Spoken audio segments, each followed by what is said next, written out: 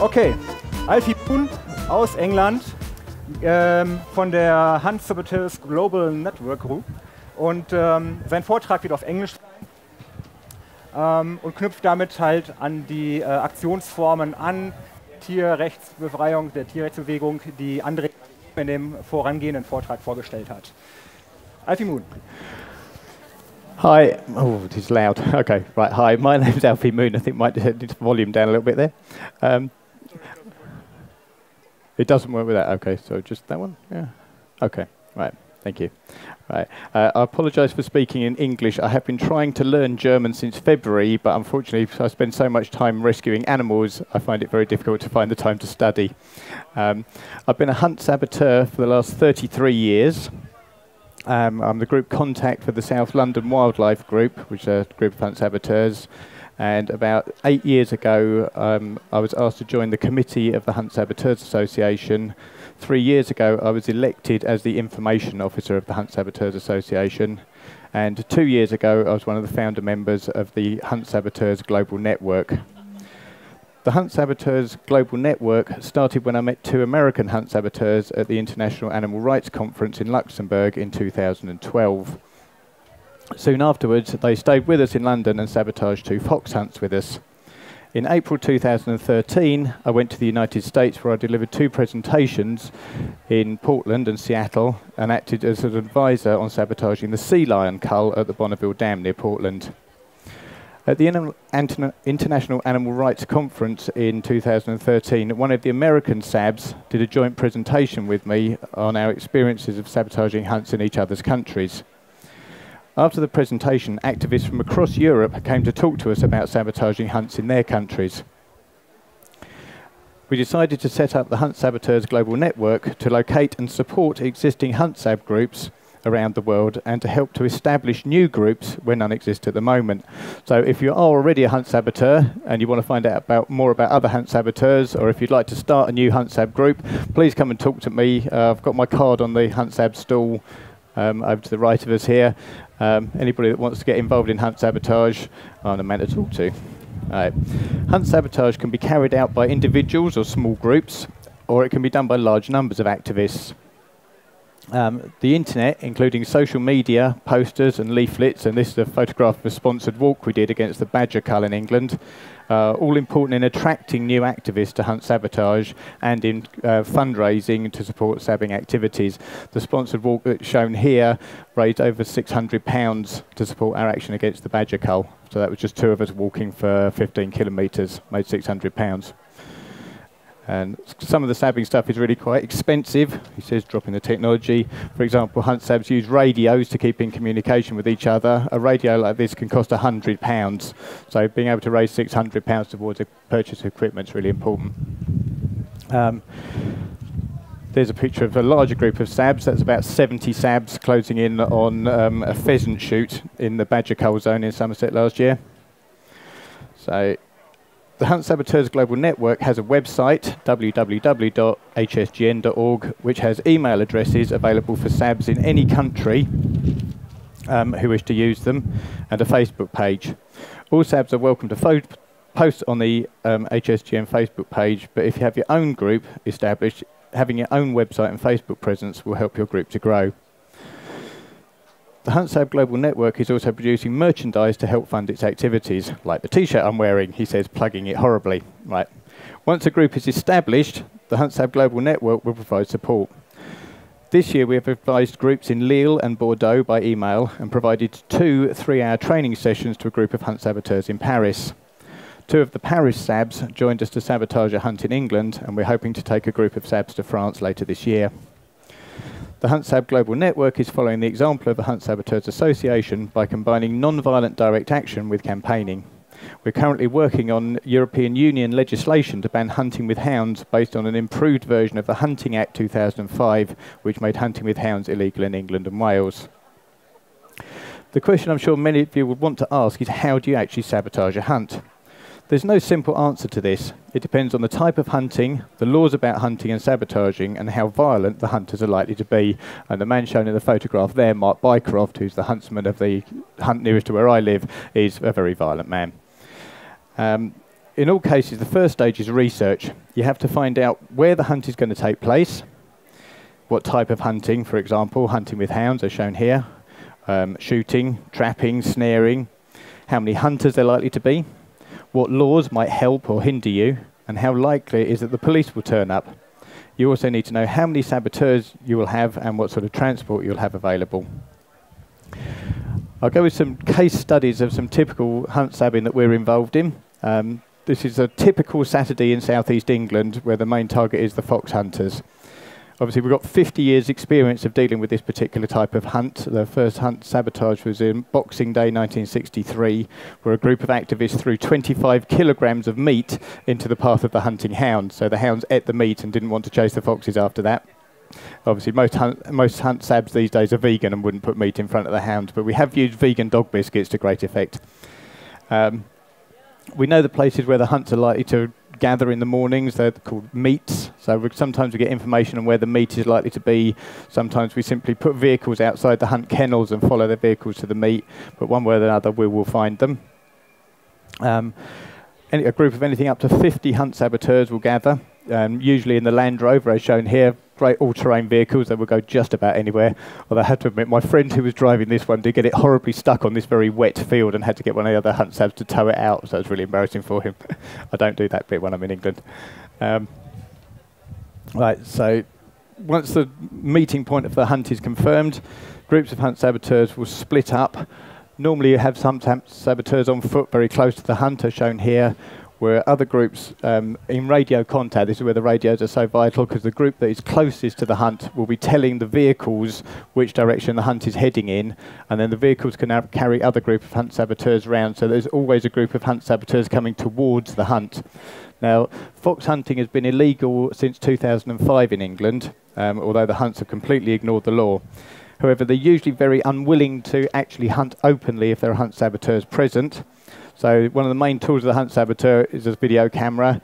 This one links to the satellite, so it picks up the date, the time, and the exact location, and that makes for very good evidence in court. If the hunts tried to hunt illegally and you can film them, they cannot argue that the film wasn't taken at the, the location you say it was taken at. Let's hope the wind stops blowing long enough. Okay. Um, if they do actually start to chase a fox, um, hunt saboteurs try to distract the hunting hounds using a variety of methods. We have um, a bottle of essential oil called citronella. I think it's called citronelle in German. Uh, it smells very strongly of lemons. As hunting hounds use their sense of smell to chase the foxes, when the foxes run past, the saboteurs simply spray the ground with the essential oil, and then the hounds cannot follow the scent of the fox, and then they're very confused because they do not know which direction they're meant to go in. Also, a huntsman will use um, a hunting horn. I'll be honest here, I'm very bad at playing this thing, and I've got friends who are very good at playing this thing. But the huntsman uses this to give the hounds instructions on what to do. I'll try this.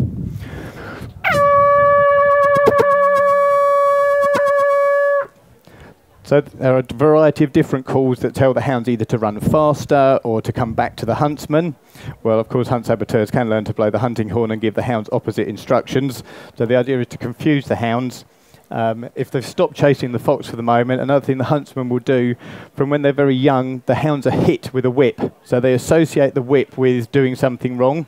And the noise of the whip is an instruction to them from the huntsman in the field to stop doing what they're doing. Obviously, hunt saboteurs would never actually hit a hunting hound with a whip, but the noise of it tells them to stop. So this noise to a hunting man means stop what you're doing. If they're chasing a fox, the hunt saboteur uses this simple homemade device. It's a bit of a broom handle, some climbing rope, and a bootlace to give that instruction to stop to the hounds. And once the hounds have, oh, we're doing something naughty, we must stop, then you can use the hunting horn or voice calls to call the hounds over to you. It's one of the most fantastic moments in a hunt saboteur's life when the fox is running in that direction and all the hunting hounds are here and you're stroking them.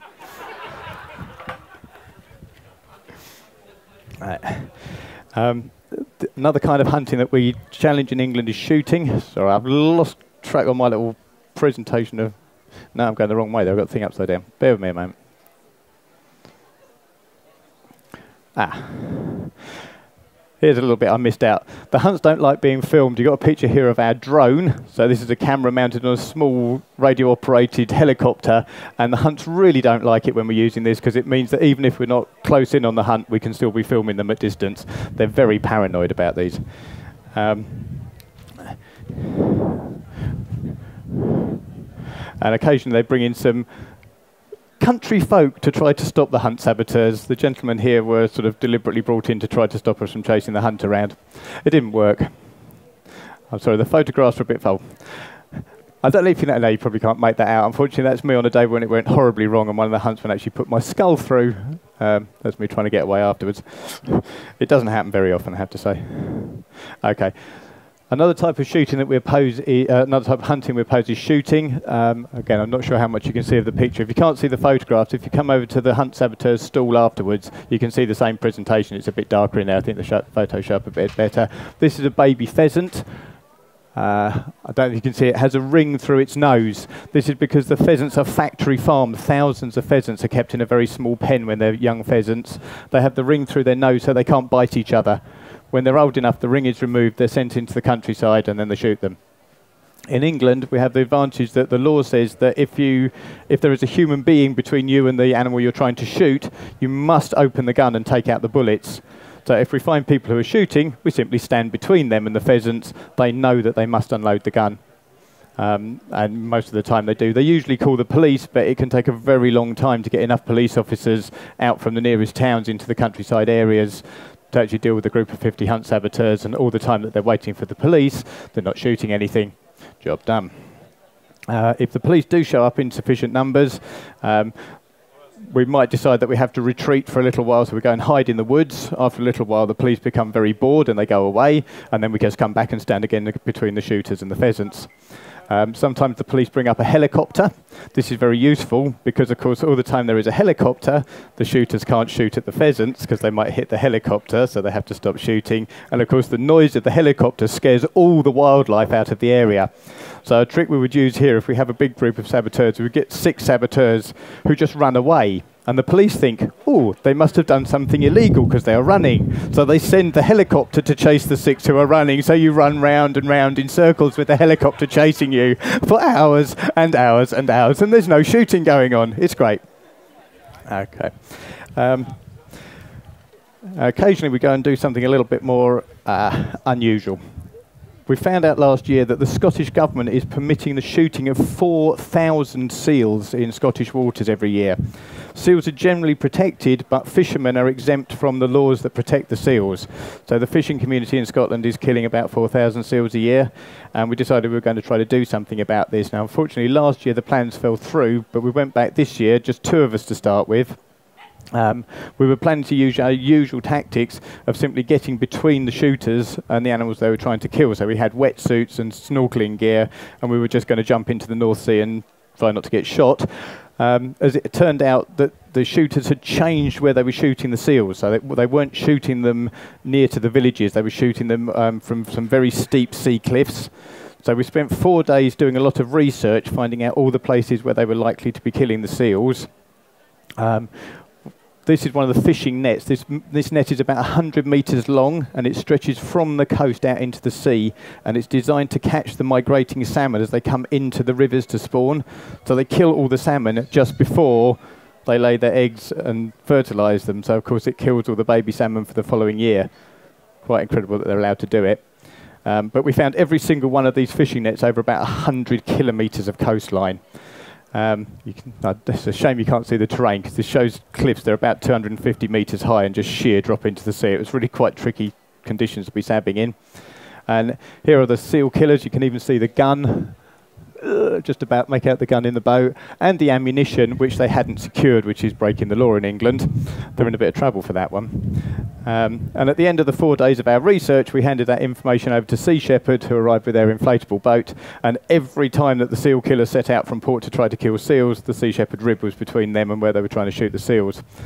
Um, they got very angry. They attacked the Sea Shepherd people. They got arrested. Within a day, they'd actually, oh, then 12 more hunt saboteurs arrived in the village, and then they didn't want to threaten anybody anymore. And then the same evening, they promised they wouldn't shoot any more seals in that part of Scotland. And by the end of the week, they said they'd given up fishing completely. So there's now 100 kilometres of coast where they don't kill seals and they don't net the salmon. So for four days' work, we thought that was rather a good result. And the main lesson from this for saboteurs trying to set up in other countries nobody had sabbed the seal cull in Scotland since the 1970s. So for 40 years, this hunt had been going on without anyone trying to stop it. In one year, we think by next year we'll actually get the Scottish government to ban the shooting of seals completely. We did it by probably a month of extremely detailed research. We just found out every bit of information we could about the hunters before we went there we gathered a lot of support from local people. I'm sure if you find out, if you go out into the German countryside, there might be people shooting everywhere, but there will be people who don't like those shooters everywhere too. And if you can get those people to feed you information, you're halfway there. Because when you get there, you'll have an idea of what's going on. When we did get there, the plans we went with didn't survive the first day, but we were just had to think quickly how to change those plans and be more effective. And again, if you get out into the areas of Germany where they're shooting, once you're on the ground, I'm sure you'll quickly formulate plans on how to actually stop the shoots from going on.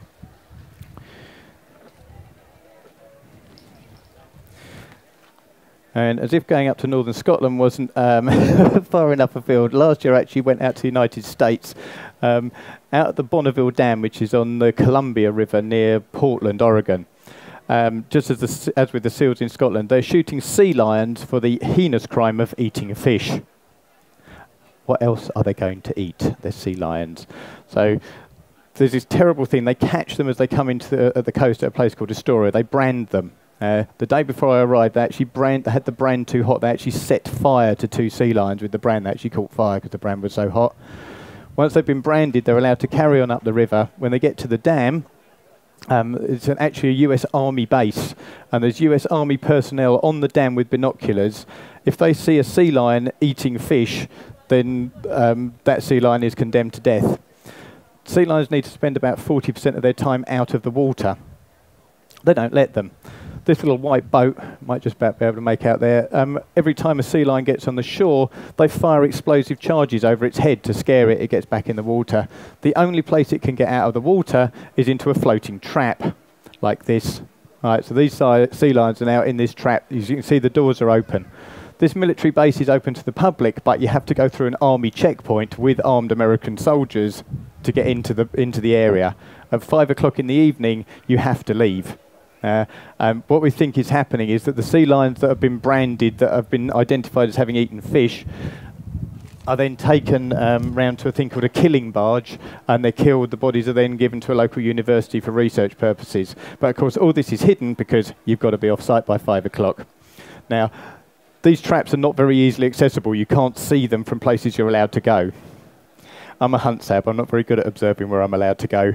So I sneaked in and got these very close-up photographs of the traps from um, a restricted area. As I came out, there were two armed soldiers waiting for me who wanted to know what I was doing in the restricted area. So I made the excuse that I'd just gone to the toilet. where the point they pointed out there was a toilet block about 100 metres away, and they told me to use that one in future, which I told them I would. Um, but we got photos. And in amongst it, I managed to do two presentations out in the States whilst I was out there and also managed to advise the local activists on how they could actually be more effective in stopping the sea lion cull. Again, with relevance to here, where I don't think there are very many hunt saboteurs here, there certainly aren't very many in the United States. Um, simple things like starting a poster campaign in the nearest town. Uh, put up some nice pictures of an animal, something that people will look at and go, ah, isn't that nice? But then have a Hunt Saboteurs website address underneath so people know where to get into contact with if they want to stop hunting. Okay, two minutes, all right. I can keep talking as long as you like. I talk for a living, it's my job. Um,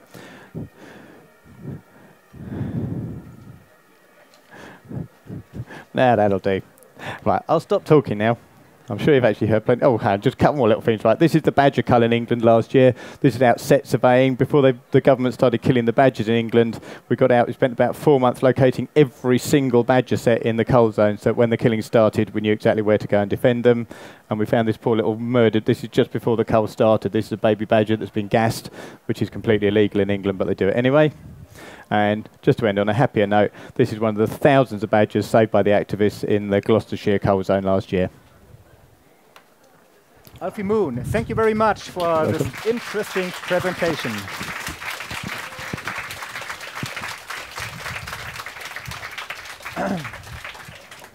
so, um, we don't have much time left. Are there any questions or comments? Two questions.